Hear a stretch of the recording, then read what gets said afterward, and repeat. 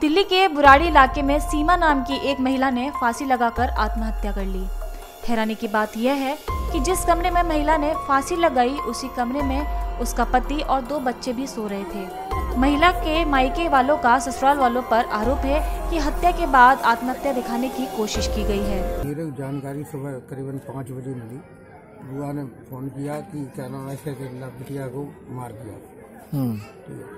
ये भैया दोज पे घर पे आए थे इनको अंगूठी दी दहेज में इन्होंने टोर्चर किया कि हमें फोर व्हीलर गाड़ी चाहिए।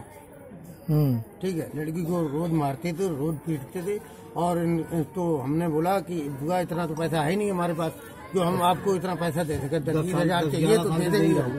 उन्होंने ये बात बोल के चले आए भैया दूज के बाद दिवाली के बाद घर पे यहाँ इन्होंने मारा पीटा दारू पी के रोज मारते थे।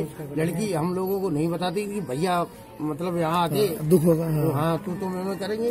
इन्होंने फिर यहाँ कल आज पता लगा कि इन्होंने गला दबा के मारा कि रस्सी से मारा कैसे मारा हम लोगों को नहीं पता।